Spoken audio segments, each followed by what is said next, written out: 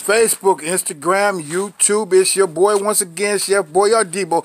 The backyard ghetto gourmet, the brother that make it do what it do to satisfy your taste buds, boo boo. I don't play with it, I don't lay with it. I just slay them their meats on them their grills, making them their things palatable for you. It's your boy once again. I told you what was going down, where it was going at. Oh, my God, look at that, y'all. Look at that. Oh, we got them little pork, they pork, pork. Wee! Pork chops and that there half a pork loin getting smoked and smoke smoked over that apple and pecan wood. Oh my God! And on grill number two, oh Lord have mercy. Look at that salmon, y'all. Y'all, would y'all look at that salmon right there? Oh my God, it's going down, y'all. I ain't playing with it. I ain't laying with it.